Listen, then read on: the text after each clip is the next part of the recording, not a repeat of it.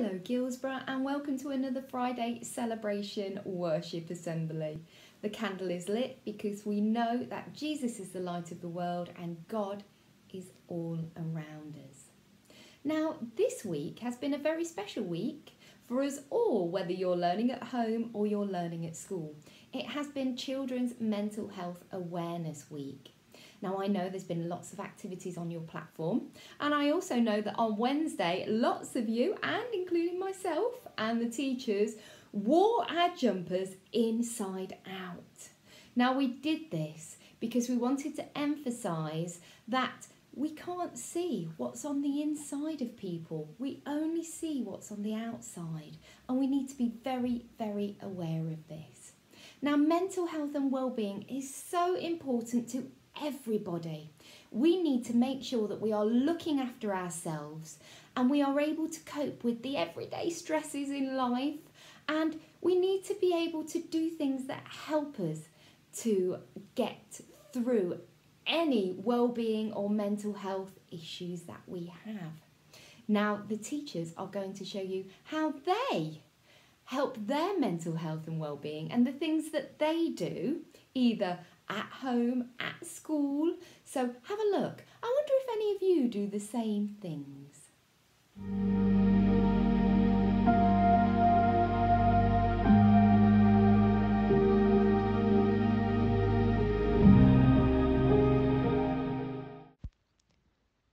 I always enjoy getting outside and gardening. It always helps me to feel happy and calm.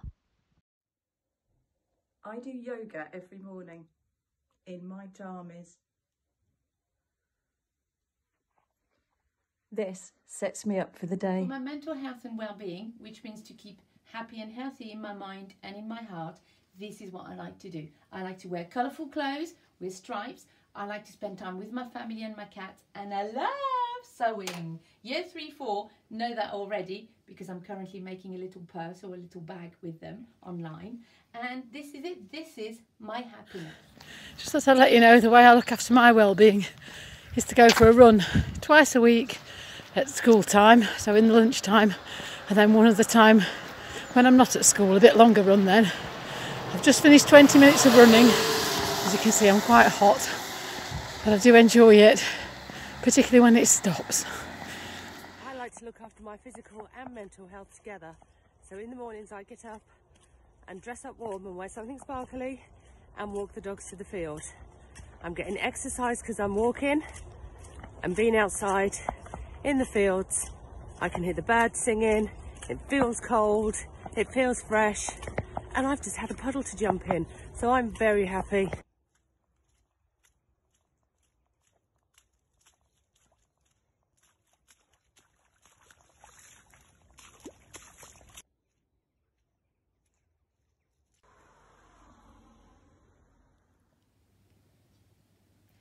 Thing that I really like to do and that I feel is good for my mental health and well-being is to read. You know that I all like to read. At the moment, I am reading this book. Don't know if you've read it, but I like to snuggle into my blanket, put the candles on, have some quiet time, and I like to get lost in a book. You should try it. I like walking in the countryside, especially by water, and even better if I'm with a really good friend to put the world to rights. And there she is, taking the cam- uh, taking a film of me. Hi guys, something I do to improve my general well-being and mental health is going for a run. It can be a long run, it can be a short run, uh, but no matter what the length of the run, one thing I can say for sure is that you definitely feel a lot better when you uh, come back from your run than when you start it. It just it releases endorphins. You know, chemically, it's proven to improve your your general mood. And from personal experience, and something I've done for many years now, I know what benefit it has on me. It makes me more productive, makes me happier. Um, it makes me sleep better as well, actually. So there's so many benefits that come with um, going for an outdoor run, especially. Um, so that's something I do as regularly as possible. So I'd really advise that um, for you to do. Hello, Guilsborough. As we all know, it's really important to look after our mental health, especially at the moment with lockdown. And I do two things actually um, that I found really help me. One is to read a really good book and get lost in a different world. And the other is to use my exercise bike and play really loud music. So I'm keeping fit and enjoying myself. It always, always makes me feel so much better. You need to find the thing that helps you. It's really important to look after yourself whilst we're not at school and we're not able to see our friends and our family. Some brilliant ideas there from our staff from walking their dogs, getting outside in the fresh air to exercise. Brilliant. Well done. Please try all of those things. You might find that they really help your mental health and well-being. Now, the next clip is about a very, very, very special person who unfortunately passed away on Tuesday. But we have lots and lots of memories of this very special person, and it's Captain Sir Tom Moore. And I want you to listen very carefully to why Sir Captain Tom Moore is such a special, special person to everybody in our country. Who was Captain Sir Tom Moore? Captain Sir Tom Moore was born in Keighley, West Yorkshire on the 30th of April in 1920. His mum was a teacher and his dad worked as a builder. Captain Sir Tom joined the British Army during World War II and rose to the rank of captain while serving in India. After the war, Captain Sir Tom took a job as a sales manager for a roofing company. After he retired, he needed treatment from the NHS for a broken hip. He hailed the excellent treatment he received from the NHS. When the UK went into the first lockdown last year, he saw a chance to give something back. In April 2020, Captain Sir Tom decided to try and raise a thousand pounds for NHS charities by walking a hundred laps of his garden before his 100th birthday. He actually raised 33 million pounds. On his 100th birthday, he received over 150,000 birthday cards from people all around the world. What an inspiration! Captain Sir Tom Moore shared his thoughts on the coronavirus pandemic. He's known for saying, We will get through it in the end, but it might take time. At the end of the day, we shall all be okay again. The sun will shine on you again, and the clouds will go away. It's with really sad news that on Tuesday, Captain Sir Tom Moore has died. He was being treated in hospital for pneumonia and coronavirus, but passed away on Tuesday afternoon. The Army veteran became famous when he raised millions of pounds for the NHS by walking 100 laps of his garden before his 100th birthday. The Queen has issued a statement saying, My thoughts and those of the royal family are with Captain Tom's relatives. I recognise the inspiration he provided for the whole nation and others across the world. What an amazing man Sir Captain Tom Moore was. Thank you, Sir Captain Tom Moore, from everybody here at Guilsborough. We salute you. What a wonderful and inspirational man he was. We're very, very proud of you. Now, it's time for our story, and our Bible story this week is called The Good Idea. Now, again, it's from the New Testament, and I want you to listen very, very carefully. A great idea. There was a man who could not walk. He couldn't even get up. How I wish I could be like you, he said to his friends. The man could not walk, but had four good friends to help him. One day his friends had a great idea. We'll take you to Jesus, they said. Jesus will make you well. So they picked the man up on his bed mat and carried him to the house where Jesus was. But there was such a crowd at the door they couldn't get near. Let's try the stairs, said one of the friends. The stairs were outside the house. So they went up, right up to the roof. The house had a flat roof made of dry mud and sticks.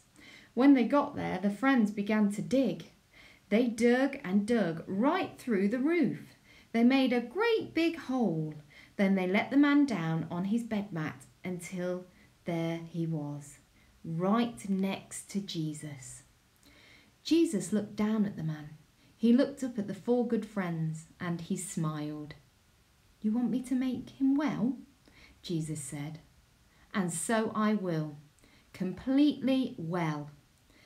Then he said to them, Every bad thing you have done is forgiven. Now up you get. Pick up that mat. You can walk home. And so the man did. I hope you enjoyed that story, children. Okay, now it's one of my favourite times of our Friday celebration worship. It is time for our gallery and to have a look at all the wonderful work that you have been doing this week, whether it's been at home or whether it's been at school. Take a look. Brilliant, brilliant, brilliant work. You're doing a great job, everybody.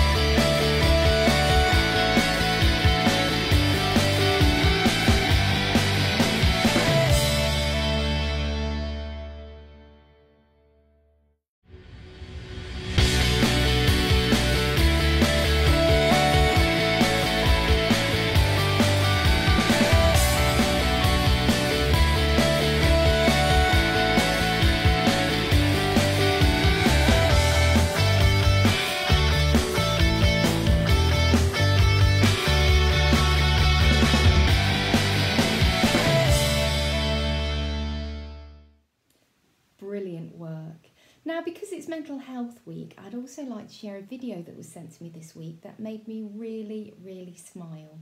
And it's been done by two of our pupils, two sisters, and I think it's very, very wise words. So listen carefully.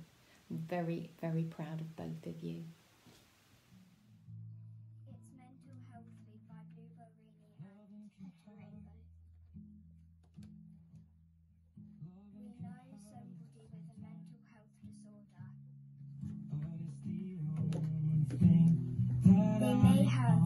Days when we just can't see a smile. The most important thing is to hold them and let